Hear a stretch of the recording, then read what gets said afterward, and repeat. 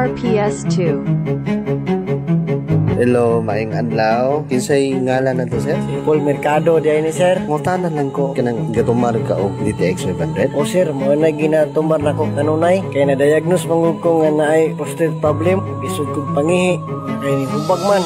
Hubag po na kong tiil. Nailantan po ko. Nagpa-check up ko sa doktor. Yeah. Kaya ko sa doktor nga magpakatitir. Naglisod naman kong pangihi. Nga nakapamati ko sa radyo sa programa ni Dr. Hans.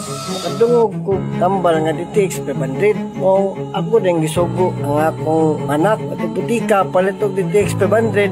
Yeah. Ako gigisting ano kinom. Niinom ko sa buntag kaduha nya sa gabi duha kapsula sa sustaon. Adang tantog tulo ka bulan naayo ko may review. Moto na kaihi na ko. Moto gitangtang na sa doktor ang akong katitir. Ay nakaihi naman ko. Daga na kay giinom nga tambal. Pero DTX 500 ra ginakaayo na ko. Labis jud kayo. Sir, DRPS2. DTX 500. DTX 500 mabali sa mga butika.